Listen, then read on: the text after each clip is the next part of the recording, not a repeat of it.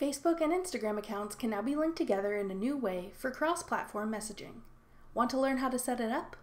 I'm Jessica from TechBoomers.com, and in this video, I'll be showing you how to set up Facebook Messenger cross platform messaging on Instagram. Now let's get started. To begin, open Instagram and go to your profile page. Then tap the menu icon in the top right corner.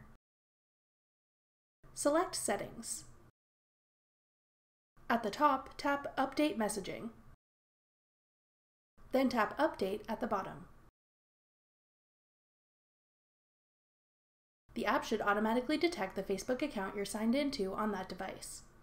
If it's showing the wrong account, tap Change to log into the Facebook account you want to link.